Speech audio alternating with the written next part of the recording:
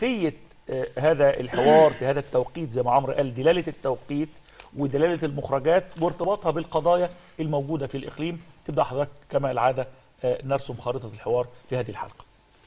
يعني ال- الحوارات الاستراتيجية في العموم هي حوارات بتحدث بين دول متقاربة بشكل أو بآخر في التفكير إزاء عدد من القضايا.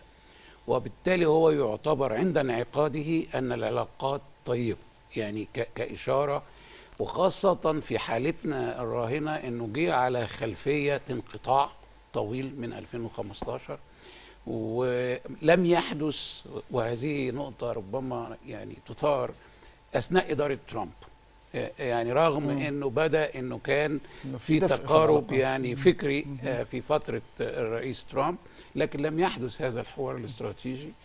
وهو الآن عندما يحدث يحدث على خلفية. لو رجعنا تسعة أشهر كان قبل ما الرئيس بايدن يأتي إلى البيت الأبيض كان الحديث والمناقشات كيف سوف ندير الخلافات بيننا وبين الولايات ال- ال- ال- المتحدة وليس كيف نتقارب ولذا فإنه الرحلة من 20 يناير يوم تولي الرئيس بايدن السلطه حتى الآن مهمة جدا لأنها بتدي مؤشر على خطوات وصلتنا للخطوة آه، اللي إحنا وصلنا لها النهارده.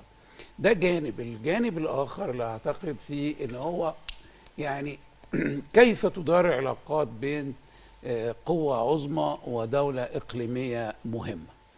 إيه اللي حصل في العلاقات المصرية الأمريكية آه، خلال السنوات القليلة الماضية خاصة إنها كانت شبه مستقرة يعني خلال الفترة من بعد توقيع معاهدة السلام مع, مع إسرائيل. يعني ربما تغيرت العلاقات المصرية الأمريكية منذ زار هنري كيسنجر مصر في 6 نوفمبر سنة 73 بعد حرب أكتوبر بدأ منحنى العلاقات المصرية الأمريكية يرتفع ودخلت فيها موضوع المعونات الأمريكية لمصر وبشكل يتداخل مع عمليات التنمية ال- المصرية ثم استئناف عملية السلام في التسعينيات مع آه، مؤتمر مدريد و- وأوسلو ب- بعدها.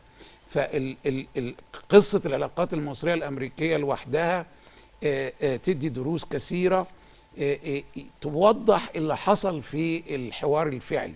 يعني ال- اللي هي القضايا ال- الأمنية القضايا العلاقات ال- الثنائية التطور الاقتصادي في مصر. وأخيرا برز موضوع بقى شائك شوية لكن أعتقد أنه دلالة نجاح هذا الحوار الصيغة التي توصلنا فيها فيما يتعلق بموضوع حقوق ال- الإنسان. يعني ده بصورة عامة هو يعني المقترب اللي أعتقد أنه يناسب هذا الموضوع.